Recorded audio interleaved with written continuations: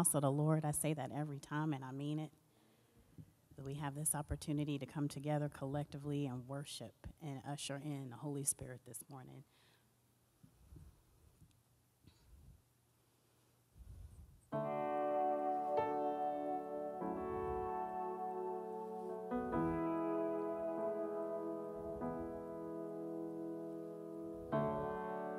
So, y'all help me sing this morning. Let's lift up our voices unto the heavens. You give life, you are love, you bring light to the darkness, you give hope, you restore every heart that is broken.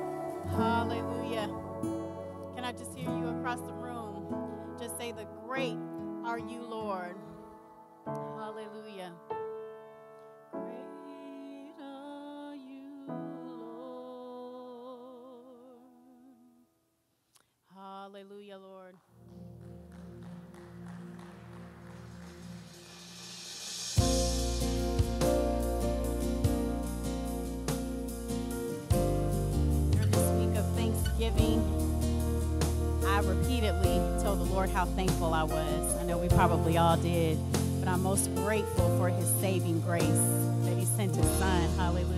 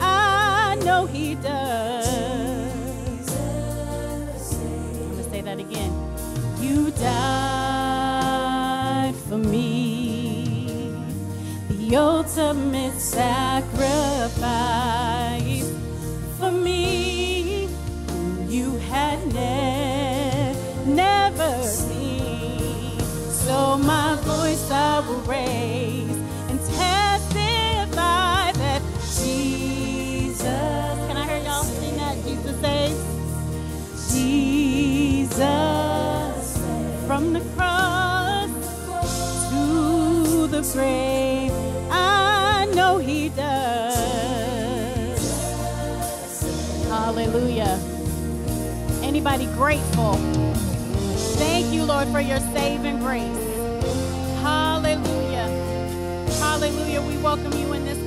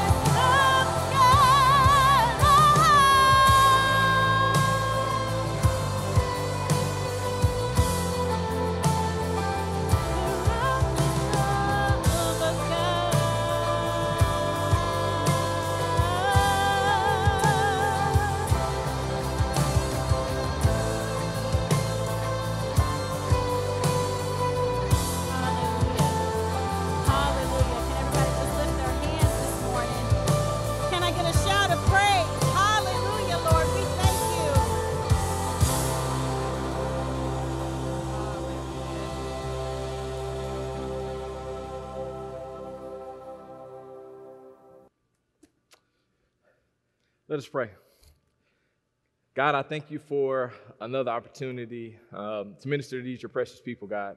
I pray, God, that right now you will decrease in me and increase your influence. Uh, God, I pray that this is all of you and none of me, God. Speak through my vocal cords, think through my mind, God. But I pray, God, that you will open up the eyes and ears and hearts of all of those under the sound of my voice, God. Those in the room, God, even those that are watching online, that they'll be able to hear a word from you, God. See, I recognize that with the simplicity of me sharing words, God, that what matters most is what you say and what you do. And so, God, I yield myself into your very capable hands, and we stand in expectation for what you'll do during this time. It's in the mighty and the matchless name of Jesus that we pray. And all that agree with that say amen, amen, and amen.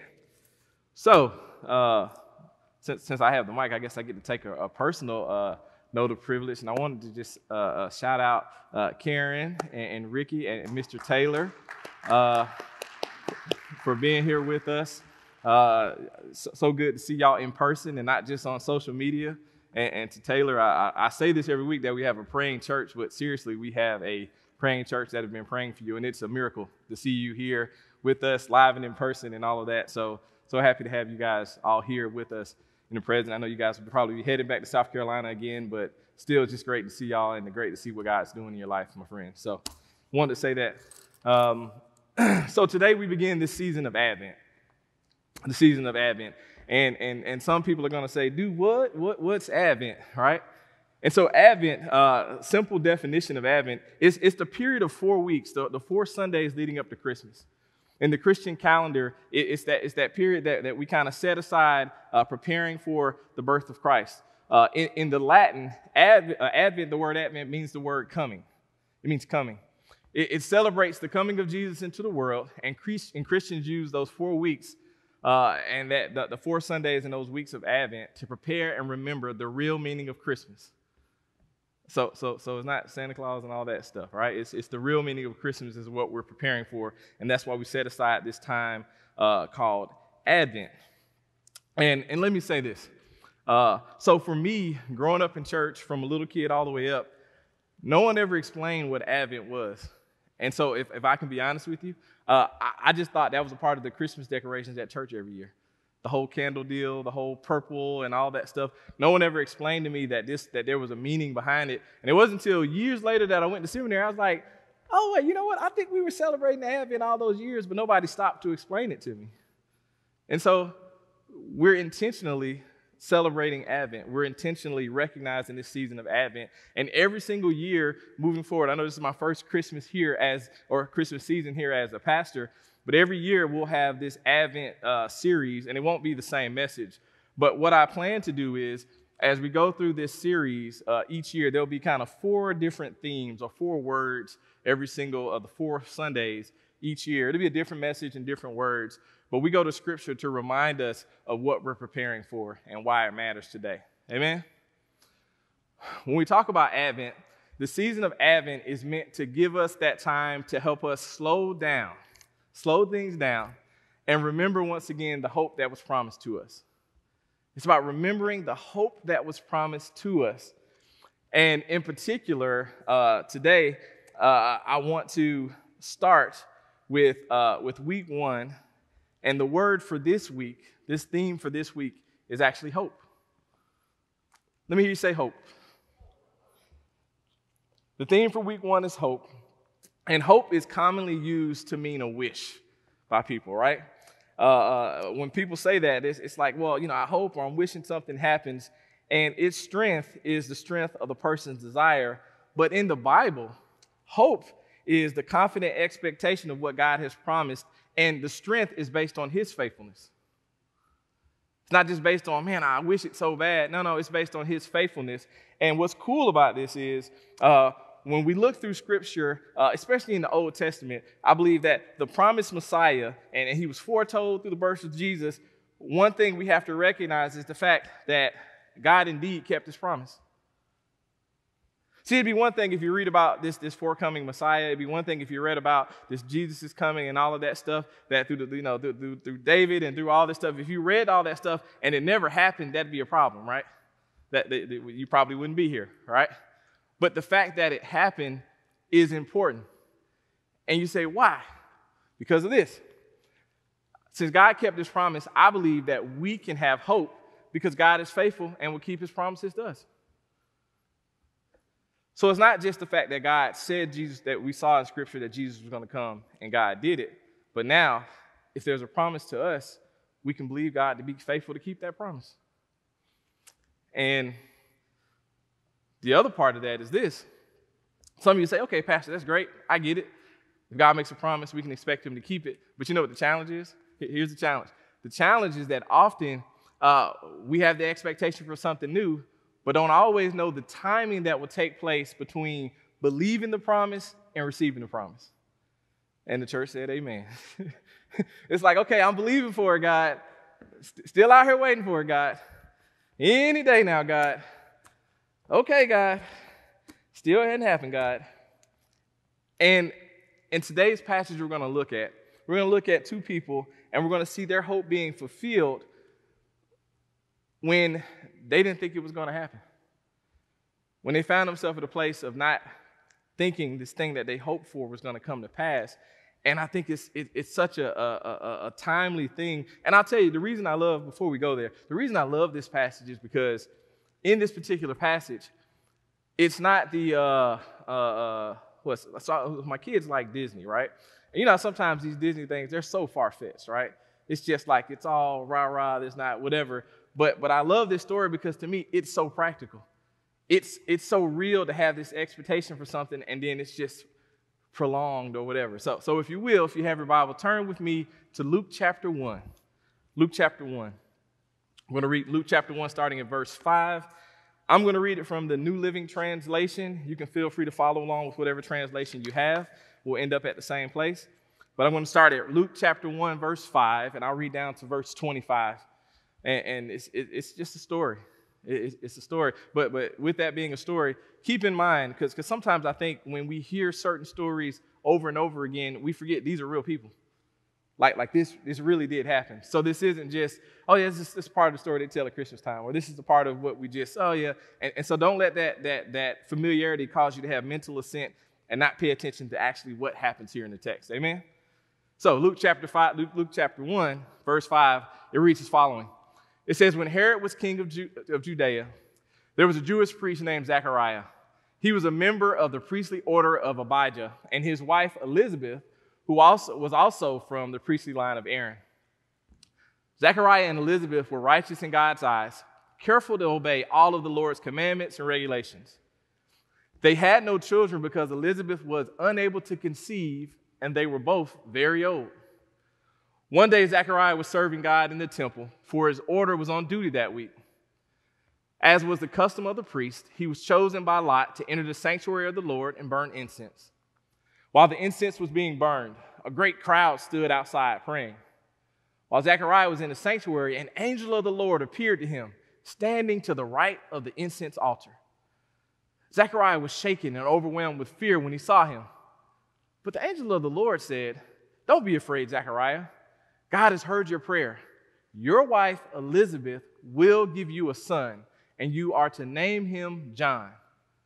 You will have great joy and gladness, and many will rejoice at his birth, for he will be great in the eyes of the Lord.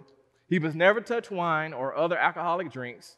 He will be filled with the Holy Spirit even before his birth, and he will turn many Israelites to the Lord their God. He will be a man with the spirit and power of Elijah he will prepare the people for the coming of the Lord. He will turn the hearts of the fathers to their children, and he will cause those who are rebellious to accept the wisdom of the godly. Zechariah said to the angel, How can I be sure this will happen? I'm an old man now, and my wife is also well along in years. Then the angel said, the angel said, I am Gabriel. I stand in the very presence of God. It is he who sent me to bring you this good news. But since you didn't believe what I said, you will be silent and unable to speak until the child is born. For my words will certainly be fulfilled at the proper time. Meanwhile, the people were waiting for Zechariah to come out of the sanctuary, wondering why was, it take, why was he taking so long? When he finally did come out, he couldn't speak to them. Then they realized from his gestures and his silence that he must have seen a vision in the sanctuary. When Zechariah's week of service in the temple was over, he returned home. So afterward, his wife, Elizabeth, became pregnant and went into seclusion for five months. How kind the Lord is, she exclaimed. He's taken away my disgrace of having no children. It's a powerful story. Very, very powerful story. Bunch, a bunch of nuggets and all of that from this story. You know, I get all excited about that stuff. Um, but, but, but when I look at this story, here's the question I want to ask you. The question is this Have you ever had a situation where you believed for so long for something to happen that when it doesn't happen, that you give up on the dream? You, you've been believing for it. You've been saying, like, like I, am just believing for it. And, and, and, year one is cool, right? Okay, God, I'm still gonna hang in there. Year two, you're like, okay, but but but after year after year after year, that you start to give up on it.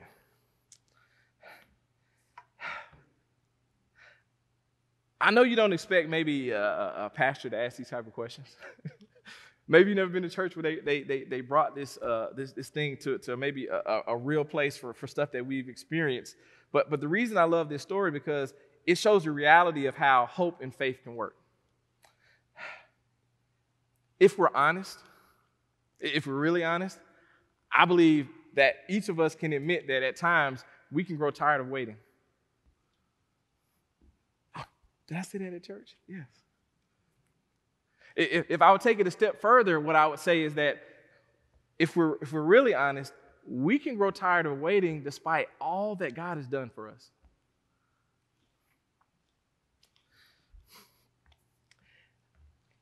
And this is hard to admit, but it's true. We can look back on all that, is God, that God has done for us to prove his faithfulness in our lives and still find ourselves at a place where we just grow tired of waiting and are tempted to let go of our faith, are tempted to let go of the thing that we feel like God's promised us. And instead of doing that, I want you to turn to Proverbs chapter 13, verse 12.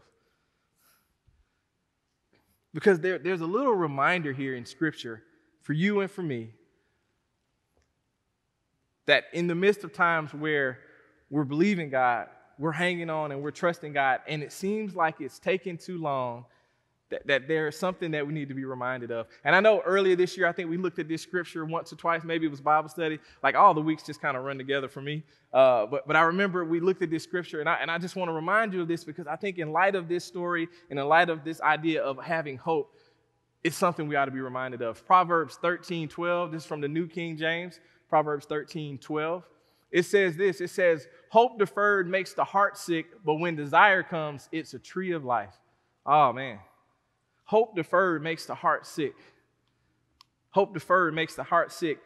It's that idea of, of as you're expecting something and it doesn't show up, you become heartsick. Now, I don't know if you've ever been heartbroken before. I don't know if you if, you ever had it, but it's almost that idea of, of the kid in expectation for something on Christmas and they don't get it.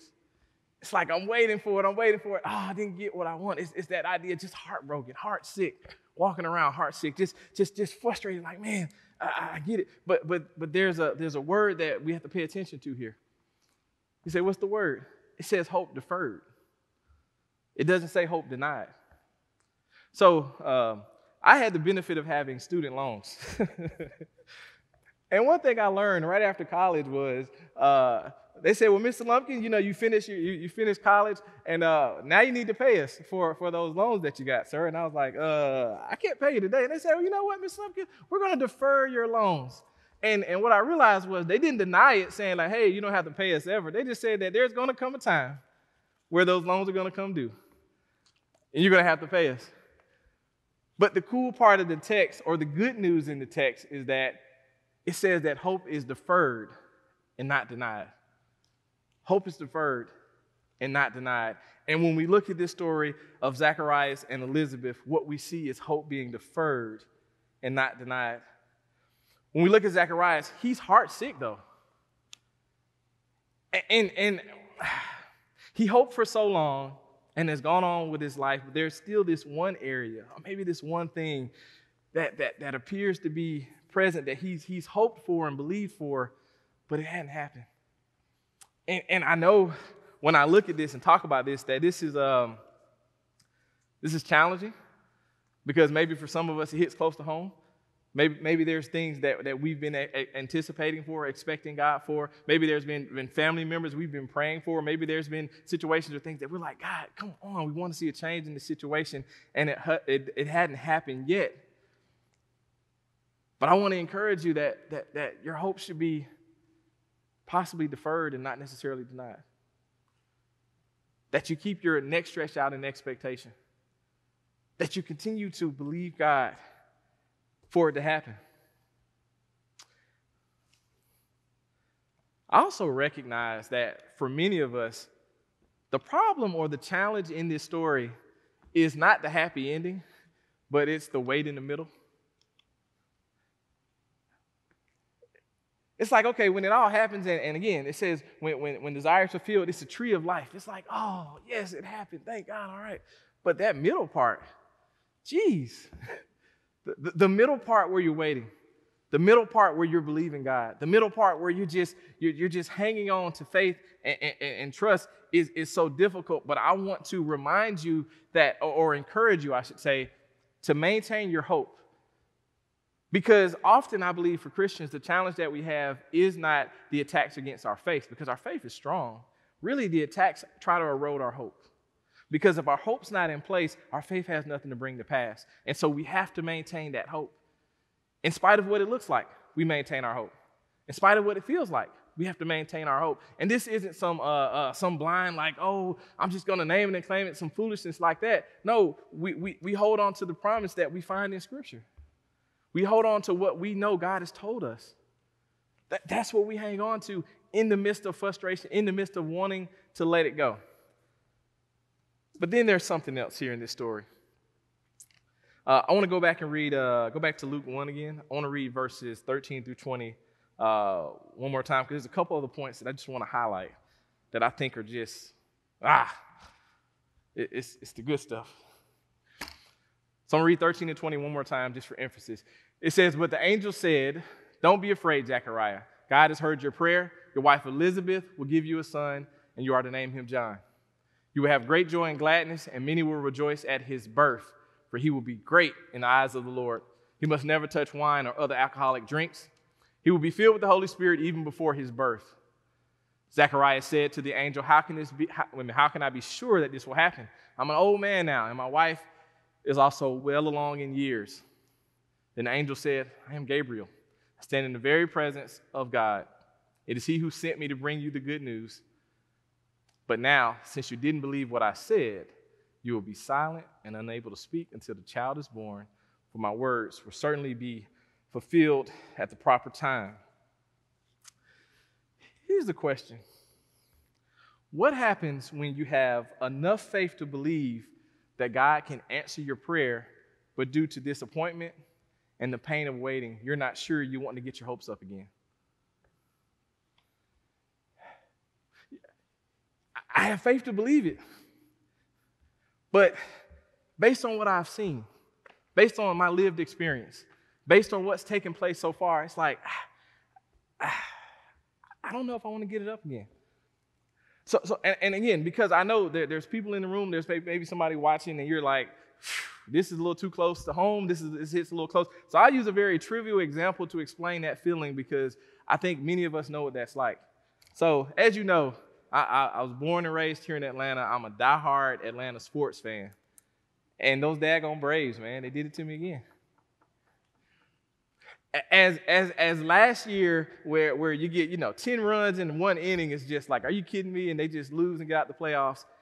And so this year it was like you know what? Okay i, I don't want to get my hopes up again. I don't want to get excited you know and it's like they're up two games then they lose by 10 runs and i'm like oh here we go. But then they score 10 runs and so it's like they're up three to one. No way they lose three games in a row right? Well you know they lost three games in a row.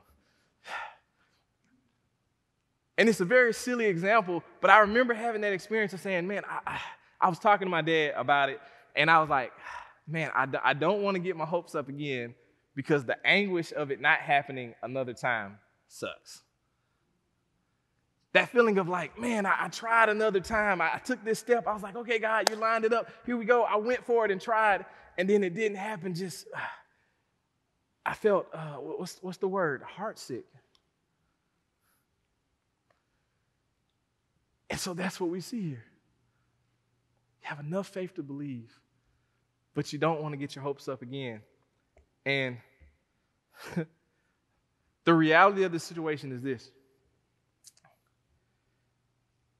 there's always a risk of when you get your when you get your hopes up again of maybe it being dashed of maybe it not working out right? There's always a chance of oh man what if we go for it and this isn't the time?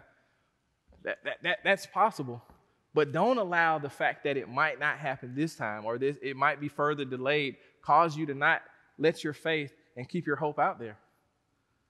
You say why? Because we're people of faith. We're people who have hope and so I want to challenge you to say, look, in the midst of what might be another situation where you end up losing all three games in a row, I cannot believe they lost all three games. Okay, sorry, I'll bring it back. The fact that it can happen again, don't allow yourself to say, you know what?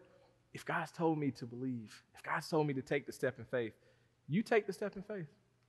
If God's told me to hang on and you keep praying for that child. You keep praying for that family member. You keep hoping for maybe the job or whatever that situation is in your life that you're like, man, God, I, I, I don't know what, what to do other than to hope and believe you.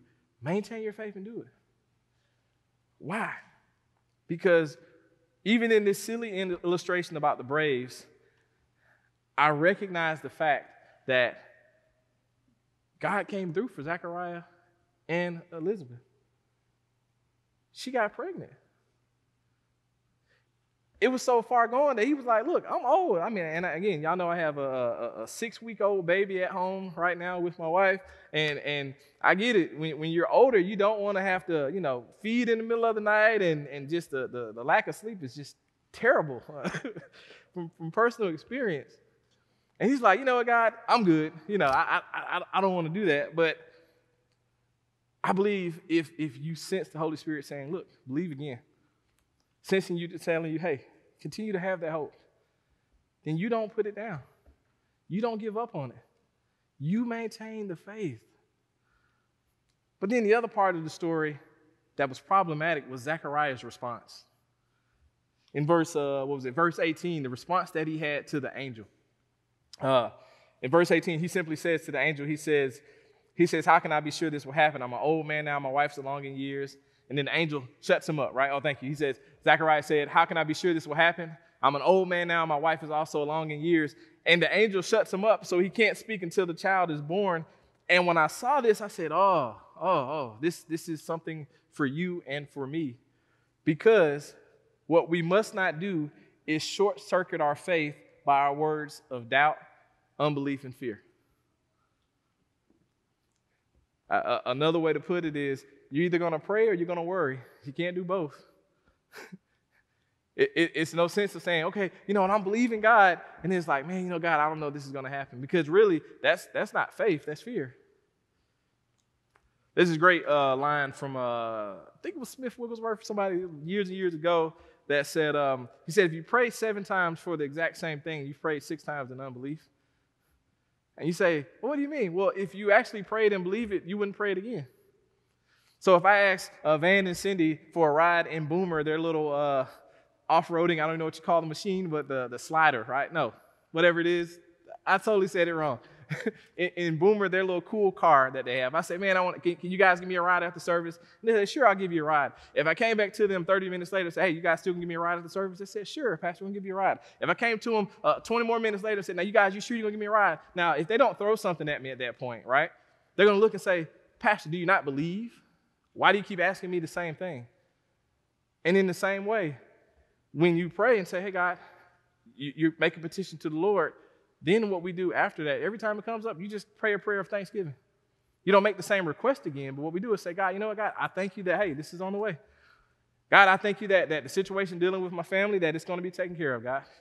God, I'm thankful that it's, and so, so when you're praying, you're not asking again in fear, but you're, you're praying in faith uh, thanking God for what's going to come to pass. Amen? But or I shouldn't say, but in addition, when we look at the issue here with Zechariah, now I get to ask you the question. Question is simply this Are you speaking words that are contrary to what you are praying and believing God for? Uh oh.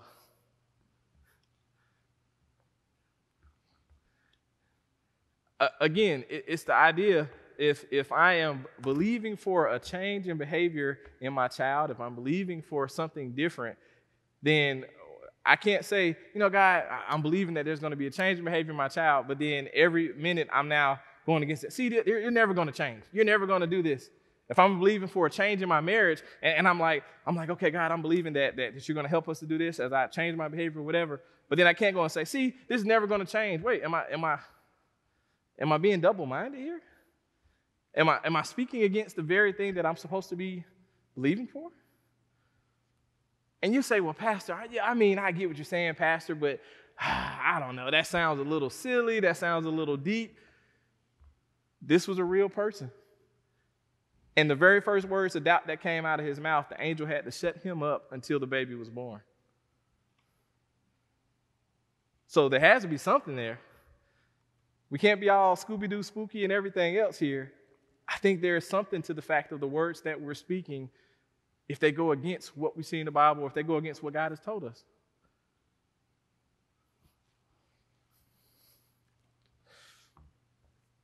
I think the real issue is uh, I think about Luke 6:45, which I don't even have up there. Uh, Luke 6:45, it talks about the um, it says out of the good treasure of your heart uh, it says what you say will flow from your heart. Out of the abundance of your heart, your mouth speaks, right? It's this idea. So Luke 6 45, just put in your notes for later. Please read it later.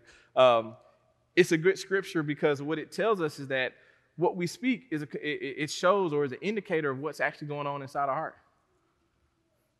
It's an indicator of what's going on in our heart.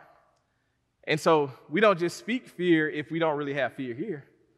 We don't speak unbelief unless we have the unbelief in here. And so, and for you and for me, we have to be mindful of our words as we're trying to maintain our hope. We have to continue to trust God and have faith in what He's told us and what He's promised us. And I, I like to just end by saying it this way I believe you have to keep your neck stretched out in expectation to what you sense God telling you to do, even if it takes longer than you think it should. Even if you say, well, Pastor, it's been, it's been three years, it's been five years, it's been 10 years. I don't know how long it's been, but it was to the point where Zechariah said, Look, I'm old. I'm old, God. Look, it's, it's okay, Angel. We're, we're good. You know, I'm almost done with my temple duty. I'm going to go to a, a, a, beach down in, uh, in, in Florida somewhere, uh, you know, in Destin and hang out on the white sandy beach. I don't, I don't know, what whatever they went to back then, but for him to say, No, I don't want to do it now. Okay. I believe for you and for me, the same thing holds true. We look to this story in this first week of Advent, this idea of hope, and you have to maintain the things that you're hoping for. I know for many of us, pandemic and all of that stuff that has taken place this year, it's easy to let go of the things that you were hoping for. There were things that many of us were hoping to take place this year that did not. And there's this thing of like, you know, because because it's easy for me to say uh, uh, something simple like, oh, we were expecting, we were hoping to go to the beach this year and didn't get to go. But for some people, this was year three of hoping something that was going to take place, and a pandemic happened and it didn't take place. And they're like, well, God, maybe I should give up on it. And, and I want to encourage you that if the Holy Spirit says, no, don't let go of it, then you don't let go of it. You stay encouraged you trust that, that, that God is going to be faithful to do what he's promised, just as when he promised Zechariah that they would have a son, they did. And as the scriptures foretold, they promised to come in Messiah. And sure enough, he came. Let us pray. God, I, I thank you right now that you know how to remind us of, of places where uh, maybe we're starting to let go of the things that you told us to hold on to. Maybe, maybe we're starting to uh, uh, uh find ourselves at a place of doubt, place of unbelief. Maybe it's too painful, God, for what hasn't happened yet to believe again.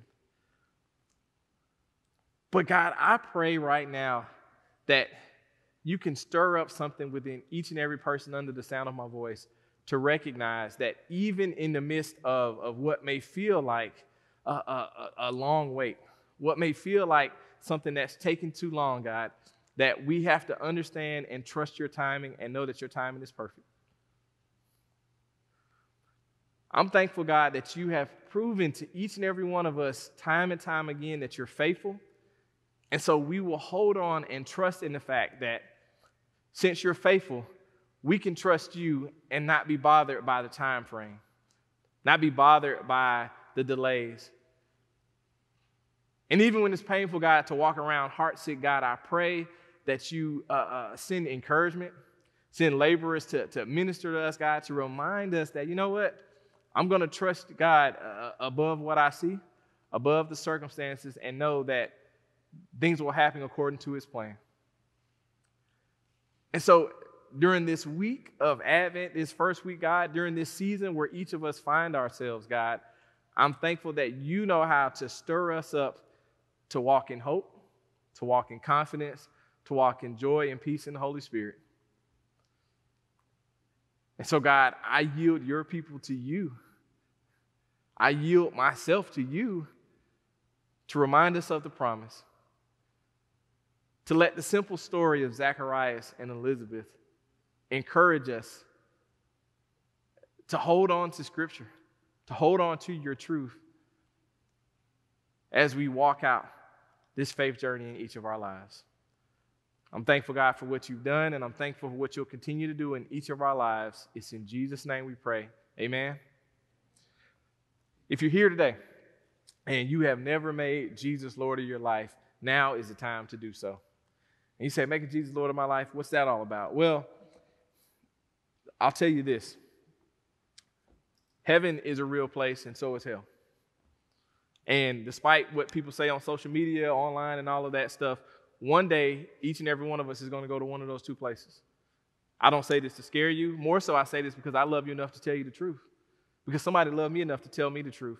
And you have to make a decision before you die to go to one of those places. And here's the cool part it costs you nothing but uh, uh, accepting and believing the fact that, that, that Romans 10 9 and 10 says this. It says that Jesus really did live, uh, that he died on the cross. He was buried for three days. He rose again and is sitting at the right hand of the Father. Romans 10 9 and 10 says, if you believe that in your heart and confess that with your mouth, you are saved. That your, your future has been secured. But, but the cool part about it is, it's not just a membership club like Costco or something where you just say, oh, I got a card and I'm, I got insurance, and so now I'm saved. But then what you recognize is there's a work that God wants to do in you, but then there's a work that God has for you to do. And if you've never made that decision, now's the time to make that decision. In a moment, uh, we're gonna come, I'm going to ask, give you an opportunity to come up and get saved. And when I ask that a question, it's not about church. It's not about a religion. It's about a relationship with the person who created you, with, with, with, with, with God, the creator of the universe, uh, who had you born at this particular time on purpose. Despite the circumstances surrounding your birth, knew you would be here at this time and says, you know what? I have a plan for you.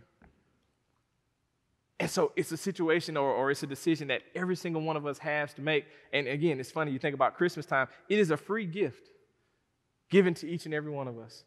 But you have to accept it, you have to receive it. And so if you're not saved, and, and, and sometimes we ask it this way if, if, if, you were to die in the next five minutes, can you say without a, a, a shadow of doubt that I know I'll be in heaven? If you can't say that, get saved. And, and then here's the other thing I, I, like to just add on to that because when I was a kid, people didn't tell me this. Uh, uh, once you're saved, you're good. so, so and you say, well, why do I make a distinction about that? Because for me, I was like, uh, I got saved probably about 15 times as a, as a teenager because nobody told me that, you know, once you're saved, it's okay. And I go to, you know, they're like, well, are you sure? I'm like, well, I did mess up in school this week. Let me go ahead and get saved again. No, no, no. Once you're saved, it, it's secure, it, it's settled. But you have to make that decision. It's not because mama can do it for you. It's not because of daddy or a praying grandmother or something like that. You have to make a decision for yourself, every single one of us. And so if you hadn't made that decision, man, it, it's one of the best things that you can do. Now, I'm not going to promise you that, that, that there won't be trouble, there won't be challenges. Right? As a matter of fact, Jesus says in John 16 that in this life you will face trouble. But here's the good part you're going to have trouble anyway. but the difference is now you have hope. Now you have a, a, a, security. Now you have someone leading you, guiding you, and protecting you. And you know, the, the, the worst thing, not the worst thing, but I'll say this even if you were to die, you'll be born again and you'll be living in heaven. But it starts with making that decision. So that's the first thing. Got to get saved. Second is this idea of rededication. Rededication is similar to that. And, and, with rededication, it's this idea if you say, well, you know what, Pastor, I've made that decision to make Jesus my Lord and Savior, good.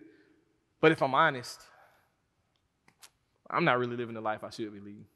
I, am not really doing the things that I know God has called me to do. And, and really, maybe life has happened, right? Maybe things have happened. Maybe there's circumstances, and you say, you know what? Uh, I just kind of, man, man, why would God love me with all the stuff I've done, right? Why, why would God still care about me with all the stuff I've done? And I got to tell you, that's just a lie from the pit of hell. Like, like God loves us uh, uh, with a never failing, undying love. She sung, uh, Tamisha sung the song earlier, uh, Reckless Love. And, and it's so true. It, it, it makes no sense to me that the creative universe would love and pursue me, but he does. Loves and pursues every one of us. And if you say, man, I, I made mistakes or, or stuff has happened and it's just drawing me away, there's always a way back. It's simply making that turn. It's simply saying, you know what, I'm going to turn around. Often we use an uh, analogy of a GPS. Whereas when you're driving, the GPS says, hey, you know, go forward for two miles. And at any point, you can choose to get off the ramp. You can choose to go in a different direction. You can choose to go somewhere else. Uh, and what a GPS does is, interestingly enough, it doesn't yell at you like my mom or dad would do if I was driving the car. Instead, a GPS says, you know, it just recalculates based on where you are now and charts a course to get you to where you need to be. And in the same way, I believe God's like, come on, let's, let, I, okay, here's where you are. Let's go ahead and get to where we need to go. So unlike the, the, the, lies that the enemy tells us, God's not mad at you. God's not sitting here saying, oh, you, you filthy worthies. Like, no, God's like, look, before you did what you did, I knew you were going to do it because I know the end from the beginning, and I still planned accordingly. So let's get back on track if that's you today. Thirdly, is this idea of prayer. Uh, as I mentioned earlier, we are a praying church. Seriously, are a praying church. And if you need prayer for anything, it would be our, our privilege to be able to pray with you uh, right now. Uh, there's nothing too small, there's nothing too large. We know that prayer still works. It's not some antiquated thing, it is effective. It works. So if you need prayer, I never take for granted that uh, people have, uh, that everyone has people in their life that will pray with them. And really, you don't want everybody praying for you. Just saying. So if you need prayer for something, man, come down. We would love to pray with you. And last but not least is membership. So this is about the church. If God's called you to be a part of this church, uh, we would love to have you. There's a couple things I'd like to tell you. Two things that I think we do well. One is we teach the Word of God. No matter who's here on Wednesday, we teach the Word of God in a simple and an uncomplicated way so you can understand it and go live it. That seems, seems fair, right? That makes sense. The second thing is we go get busy in our community. Why? Because that's what the Bible tells us to do. And, and if I can add another part, we have some of the best people here in this city at this church. I'm a little biased, I think, to that. But it's true. And, and can I tell you something? We're not a perfect church. We're a bunch of, of, of people with every story imaginable that are here together, and we've decided to, hey, let's go pursue Jesus together. And we're like a family because we disagree sometimes. We all vote in different ways and all that good stuff. We, we don't, we're not, uh, uh, what's the word? We're in harmony here, but we're not in unison. We're a church in harmony. And if you say, man, I feel like God's called me to be a part of this church, we would love, love to have you. So I've asked you four things as my prayer counselors come on down now, and you want to come, you coming up. Um, so four things. One, if you need to get saved. Two, if you need to rededicate. Three, if you want prayer. And four, uh, if you want to join the church. So.